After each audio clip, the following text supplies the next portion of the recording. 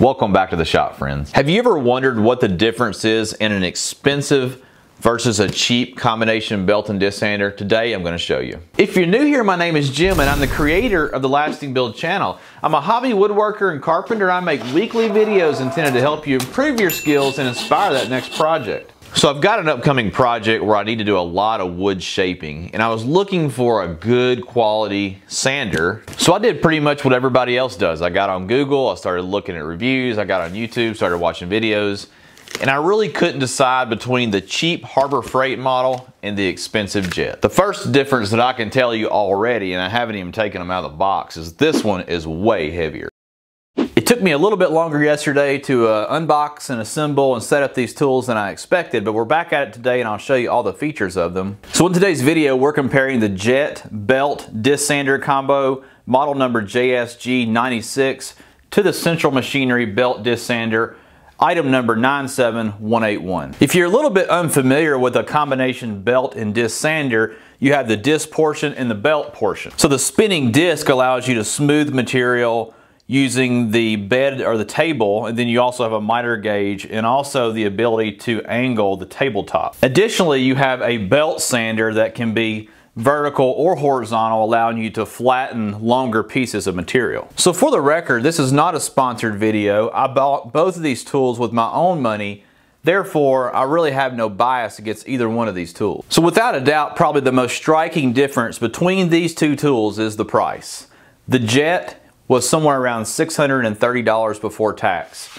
The central machinery was around $62 before tax. So let's get right to the point of the video. What are you getting by spending 10 times more money on this tool? So as I suspected by the weight of the boxes, you're definitely getting a lot more cast iron material in the jet than you are the central machinery. In fact, I'm not sure there's any cast iron in this machine. It looks like the primary material used to build it is aluminum. In contrast to the aluminum framing of the central machinery tool, I was surprised to see quite a bit of hard plastic in the jet. This bottom uh, part of the machine appears to be a hard plastic. It may have some aluminum, sheet, aluminum sheeting behind it. I haven't really been able to get underneath it to investigate it because of its sheer weight. As you would suspect for a much more expensive tool, you're getting a really nice cast iron tabletop for the disc sander.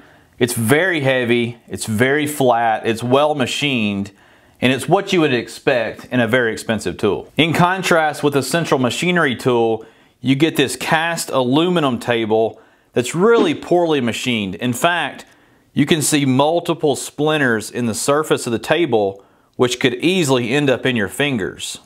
And when I checked it for flatness, it's okay. It's not that bad, but it's definitely rough to the touch and you're definitely at risk to puncturing your finger. Now after the overall appearance of the machines and the building materials, you'll notice a major difference in the motors. Both have an electric motor that are three quarters of an horsepower but the jet is significantly bigger and also significantly heavier. I will also say for the each motor, it appears each has a steel housing. However, the Harbor Freight has quite a bit of plastic on it as well. You can probably tell pretty well in the video there's a huge difference in the size of each one of the machines. The Harbor Freight model has a much smaller footprint in comparison to the Jet model. In addition to that, the Jet has a 6 inch by 48 inch belt with a 9 inch disc and the Central Machinery has a 4 inch by 36 inch belt and a 6 inch disc. So the assembly process was about the same for each tool. It probably took about an hour per tool to physically assemble the tool. Before we move on to the functionality of the tool, let's talk about the dust collection. This was one of the things that really had me concerned about the Harbor Freight model. When I was researching and I noticed that the dust collection seemed to be a problem for the tool. In fact, with the Harbor Freight model, there is a dust port underneath the belt. It really doesn't seem to fit my shop vac hose or my two inch hoses in which I have in my shop. I'm not sure what it's really intended to fit. There's also a small port underneath the disc, but it's only about the diameter of my pinky, so I'm not really sure what was intended to attach to that. In contrast, the jet machine comes with a four inch dust port. There is a dust chamber underneath the tool and the four inch hose connects to that, then that can be connected into your dust collection system. It seems like a pretty nice design. I do like this feature to the jet machine. you have the ability to shut off the airflow to the belt from the chamber underneath. That way if you're only using the disc sander, you don't have to fuss with wasting flow of air to the belt sander. You can simply just move this back and forth and tighten it down allowing you to cut off that airflow. While we're discussing the footprint of each one of the models, I will say that the Jet comes with holes drilled in the base of the machine allowing you to screw it down to your bench top. The Harbor Freight model does not. If you decide that you're going to screw it down to your tabletop, you're going to have to drill some holes in the base of it and there's not a lot of room there. So let's move on to the most important thing, the thing that everybody wants to know and what is the uh, workability, what is the functionality of these two tools? So let's start out by taking a look at the disc sanders on each one of the tools. I can tell you when I put the sandpaper on the Harbor Freight disc, the machining on the disc was very crude, not very flat, and very rough to the touch. It has stuck well, however. So let's go ahead and turn the tool on and I'll show you how it works.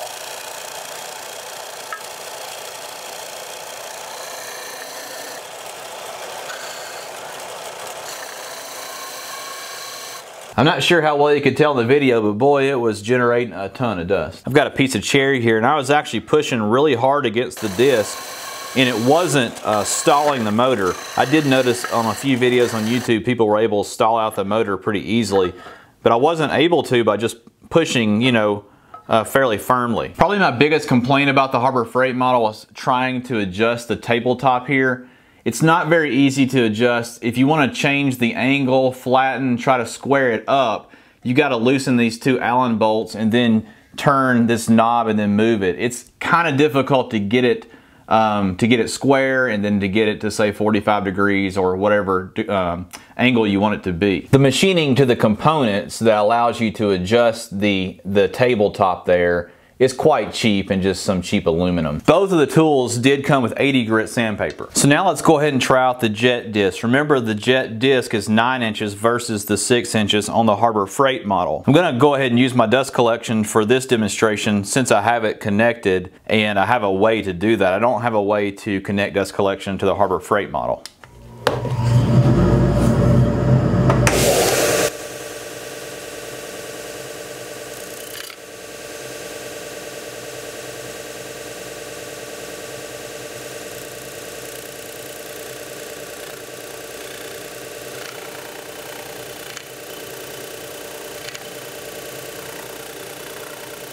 I can definitely tell a big difference in the amount of abrasive torque against the piece of wood I'm using.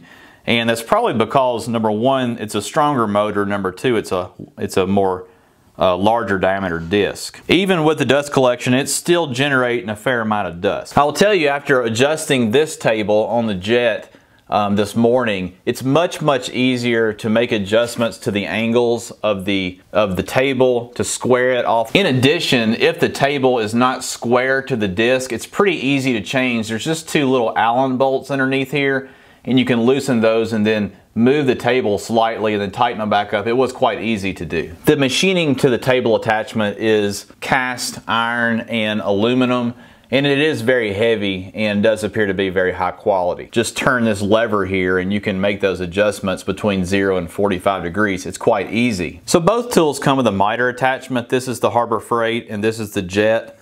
I'm going to let the video tell the story on these two.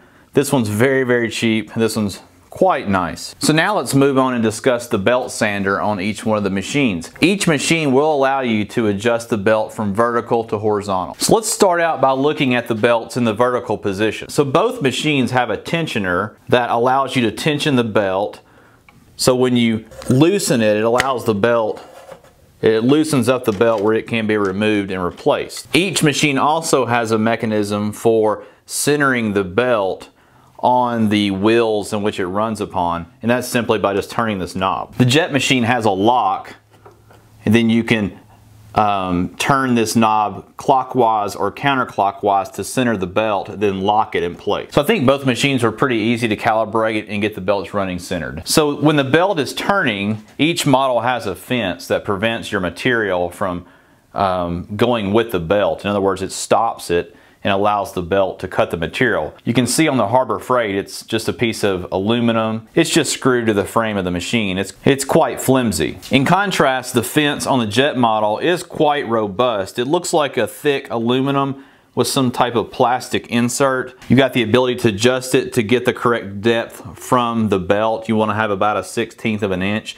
between the fence and the belt. And it also has a miter slot as well. The locking handles on the Jet is quite nice as well. For both machines, you have an option if you want to move the table to the vertical belt position. For the Harbor Freight model, you just need to loosen this bolt and then insert this rod into this hole and tighten this one up. No big deal. And then for the Jet model, you just loosen this handle here move the table over to here and then tighten the handle back up. So now I'm going to show you how to make the vertical belts in the horizontal position for each tool. So for the Harbor Freight model, you just loosen these two nuts. Once the nuts are loose, then you can simply just slide it down. Once it's laying flat, then you just retighten these two nuts.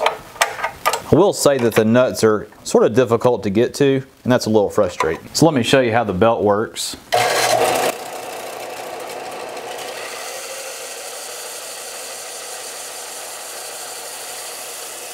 Really don't see any major issues with the belt. And something else that I will note is that it's very flat when I take a straight edge and I run it across the belt. That's actually fairly surprising. So one thing you should know if you're gonna use the dust collection on the Harbor Freight model, when you lay it in the horizontal position, it's gonna be pretty hard to get to it. You can see how it's in this cubby here.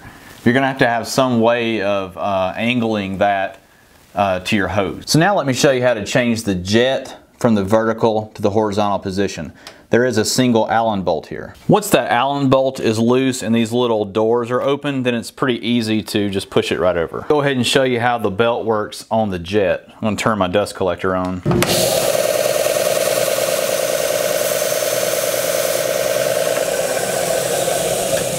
As I pretty much expected with the jet, there's a lot more power in the belt sander and you got to be careful you got to hold that material quite tight or it'll throw it right out of your hand. So let me give you a few words to describe each tool sort of off the top of my head. The Harbor Freight model is low cost, very low cost. It has a small footprint which is actually pretty nice. It's made from fairly cheap materials creating a lightweight machine. It actually works better than I expected and even though it was quite difficult to calibrate and get you know the, the table squared to the disc, it does work and it can be done. It's just gonna be a little bit harder for you. So now let me describe the Jet. It's expensive, it's very expensive. It's got a large footprint, it's very heavy. It's made of some really nice material. The machining is excellent. It's very easy to calibrate. It's gonna be very easy to use. It has a ton of power. The dust collection is excellent. I really like the way the dust collection is. In contrast to Harbor Freight, the dust collection is almost non-existent. So my final thoughts, let me give you this comparison. Imagine showing up to a church softball game. Harbor Freight is like the wooden bat, Jet is like the aluminum bat. You can use the wooden bat to play. It's gonna be a whole lot harder to hit that home run. You might hurt your hand in the process, and it's probably gonna break after a few uses. I hope you enjoyed today's video. I'll see you guys on the next one.